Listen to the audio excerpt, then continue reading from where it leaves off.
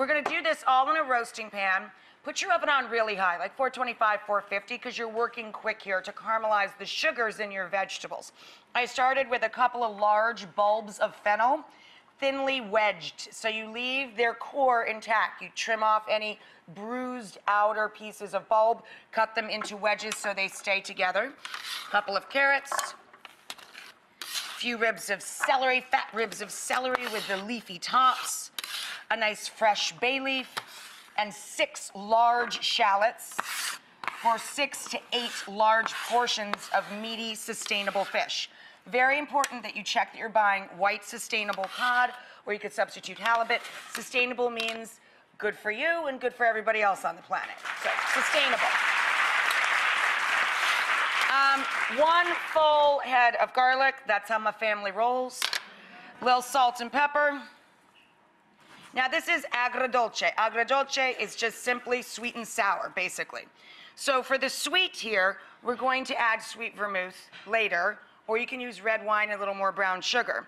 Um, brown sugar, if you're using sweet vermouth or fortified red sweet wine, you use one tablespoon of light brown sugar. If you're using red wine, use two tablespoons. So our sugar goes in with our salt. Balsamic is our acid, a nice fat drizzle of balsamic vinegar down over everybody. Um, a nice fruity, fruity olive oil, and then in my family, we like a little bit of chili flake in pretty much everything.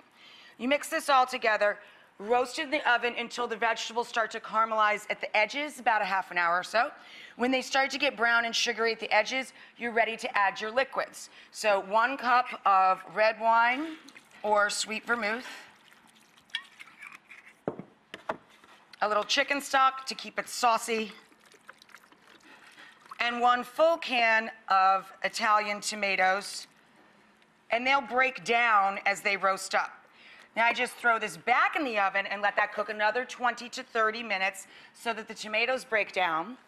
And when it gets nice and saucy, then we pop it out of the oven and it looks like this. It smells delicious. And then you're going to nest in thick cut, center cut pieces of cod or halibut. Nest them into the sauce and throw it back in the oven just until the, the fish is firm and opaque.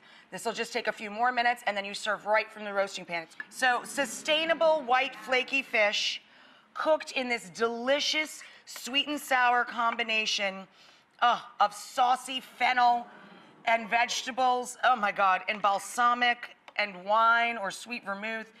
It is just stunning. And when you serve it, when you serve it, we always sprinkle, let me just grab a little towel here to wipe up the edge.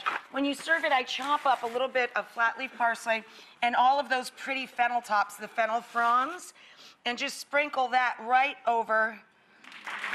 Really easy and so delicious.